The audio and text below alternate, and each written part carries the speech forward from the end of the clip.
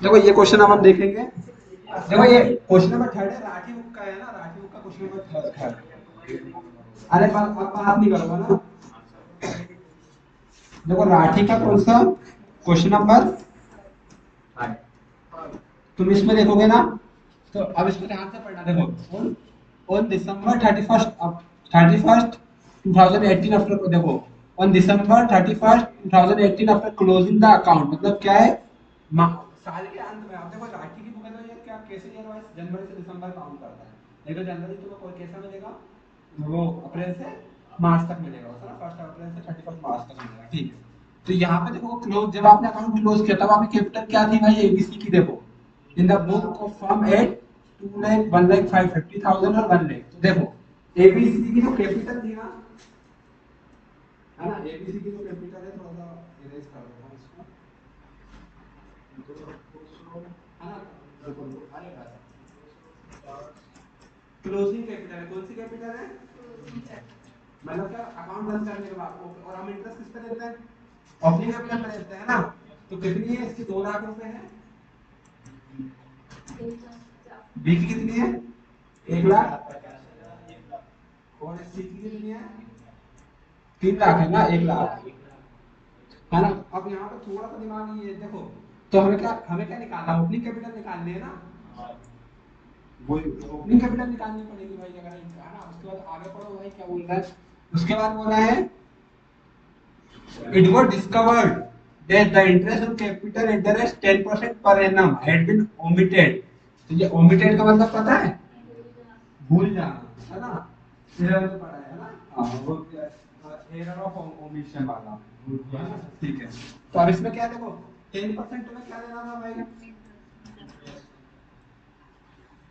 Interest on capital interest 10% आता है वैसे।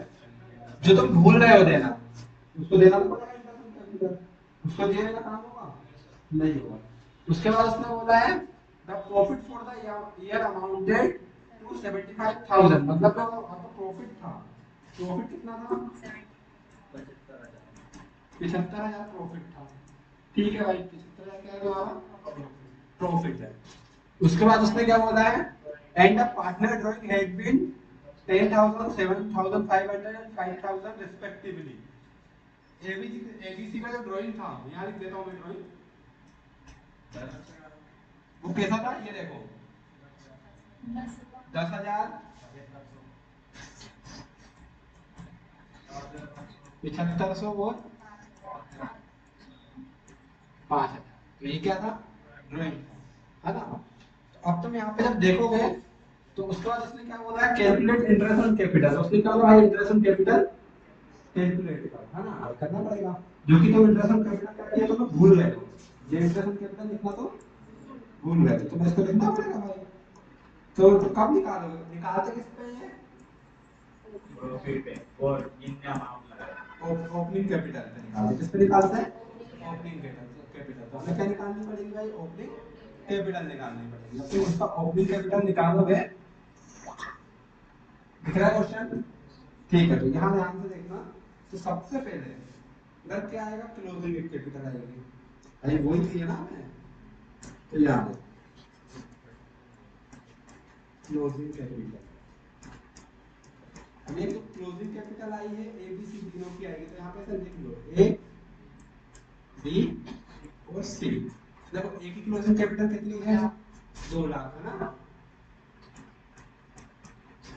बी की कितनी है? एक लाख पचास हज़ार। सी की कितनी है? एक लाख। ठीक है। उसके बाद अगर इंटरेस्ट ऑन कैपिटल तुम भूल गए अगर नहीं भूले होते तो उसको भी प्लस करना पड़ता माइनस करना पड़ता प्लस माइनस करना पड़ता वो फॉर्मेट ठीक है? अब तुम देखोगे तो उसने क्या किया है? आपने पढ़ा तो सबसे पहले वो तो भूल गए ठीक है भाई, कोई बात नहीं। प्रॉफिट था प्रॉफिट बटा हुआ होगा है ना? तो प्रॉफिट तुम्हारे कैपिटल में ऐड रहा होगा क्रेडिट हुआ था। मतलब तुमने प्लस किया है तो क्या करोगे उसको? ओपनिंग माइनस करोगे। अब प्रॉफिट उसने क्या बोला? ये देखो कोई रेशियो होता है किस रेशियो में बांटा? तो किस रेशियो में बांटा होगा कोई रेशियो नहीं दिया कोई रेशियो नहीं दिया होता है। जब पार्टनर पार्टनरशिप डीड साइलेंट हो तो उस केस में क्या करता है? इक्वली बांटता है। तो क्या तीन पार्टनर किस किस रेशियो में बनेगा 1 बाय 3 तो जब 75 हज़ार का तुम 1/3 निकालोगे तो ये देखो सेवेंटी फाइव थाउज़ेंड का वन फाइव थ्री निकालो, कितना आएगा? पच्चीस हज़ार। है ना? तो ये पच्चीस हज़ार तीनों में प्लस हुआ तो ये क्या हो जाएगा? माइनस हो जाएगा।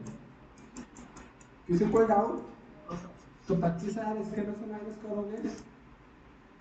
ऐसे बता देना, पच्चीस हज़ार इसमें से माइनस करोगे और पच्चीस हज़ार इसमें से भी माइनस करोगे। किसी को दिक्कत? है ना? उसके बाद उसने क्या बोला? ये देखो। उसके बाद उसने बोला है कि भाई ड्राइंग पार्टनर के ड्राइंग थे। तो ड्राइंग क्या होता है? देखो ड्राइंग निकाला था मतलब डेबिट किया था अमाउंट और अमाउंट जब डेबिट किया था, है ना? निकाला था मतलब डेबिट किया था मतलब माइनस किया था। उसको क्या करेंगे हम? प्लस करेंगे। तो क्या हमें वापस लाना है? तो ड्राइंग को क्या करोगे तुम?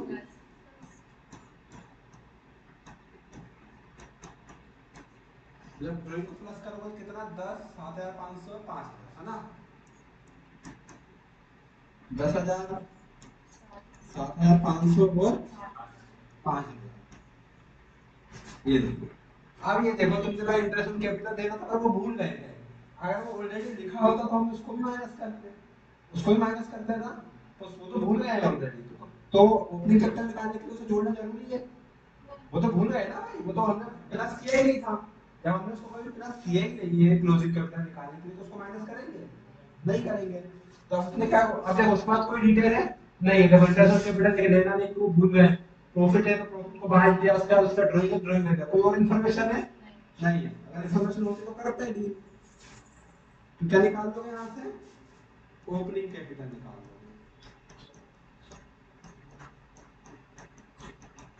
तो ये देखो, दो लाख दस हज़ार तो दो लाख दस हज़ार तो इसको माइनस कर दोगे कितना? एक लाख पचहत्तर, एक लाख पचासी हज़ार। तो कैपिटल कितनी एक लाख?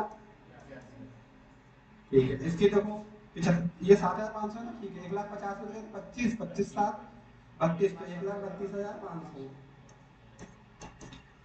उसके बाद देखो, एक लाख और एक लाख में पच्चीस हज़ार, पिछहत्तर पिछहत्तर पाँच, अस्सी हज़ार। अरे क्या अब जब हो गया इस इतना तो अब इंटरेस्ट कैपिटल निकालो, कोई दिक्कत है? ओपनिंग कैपिटल की तो निकालते हो तुम। तो निकाल दो इंटरेस्ट कैपिटल क्या है? देखो, मैं मैं निकलवा देता हूँ फिर भी। अरे दस परसेंट तो एक ज़ीरो हटा दो, आ जाएगा, है ना? तो ठीक है तो देखो देखो interest on capital at rate कितना? टेन परसेंट तो जब ए का निकालोगे तो ए का एक लाख अस्सी हज़ार कैपिटल है पिचासी। टेन बाय हंड्रेड है ना? तो ज़ीरो ज़ीरो कैंसिल तो कितना आ गया? पाँच सौ। जब बी का कैपिटल बी का निकालोगे तो कितना आएगा? दस। तेरह हज़ार दो सौ पचास, है ना? हाँ तो ये देखो। तेरह हज़ार दो सौ पचास। जब इसका वन बाय टेन निकालोगे मतलब ten percent zero zero cancel तो कितना आ जाएगा? तेरह हज़ार दो सौ पचास। अरे बेटा बस। तो अस्सी हज़ार का टेन परसेंट निकालो, कितना आएगा? कितना आ गया?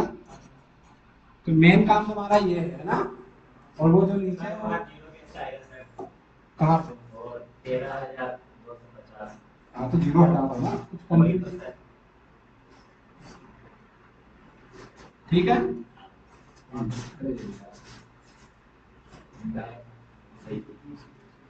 कितना आएगा? तेरह सौ पच्चीस, है ना? ये लो ये आ गया इंटरेस्ट कैपिटल अब बता दो समझ में आया क्वेश्चन किसी कोई दिक्कत इस क्वेश्चन में? अब इसका एक ट्विस्ट बता देता हूँ थोड़ा सा। इसी क्वेश्चन को लिख लो एज इट इज़ पर इंटरेस्ट ऑन कैपिटल आप भूले नहीं। हाँ?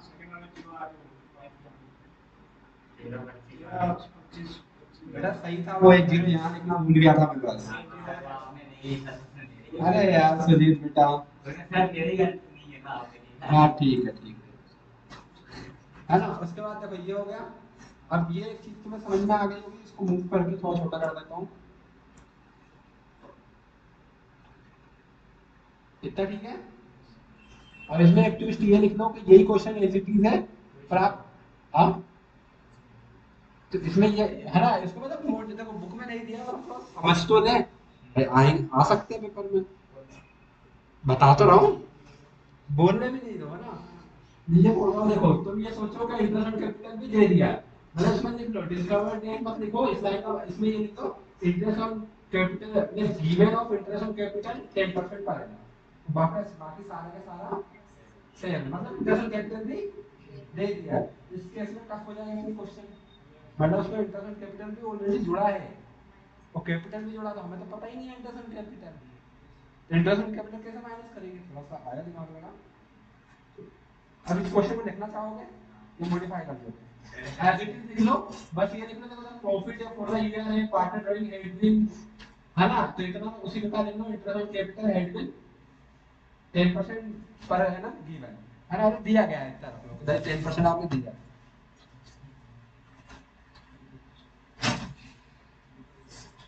मतलब अरे बुक में तुम्हारा लिखा हुआ है ना बस उसमें एक लाइन ऐड कर। दो के हाँ। इसको लिख लो केस 1 केस 2 करके लिख लो। सर ये अपन को खुद देखना है कि ना कैपिटल फ्लक्चुएटिंग है या फिक्स्ड हाँ अपन को खुद आज उसने कुछ नहीं बोला तो कौन सी हो रही होगी ये बता जब वो कुछ नहीं बोलेगा साइलेंट है उस केस में कौन सी रहेगी? फ्लैक्चुएटिंग रहेगी बस।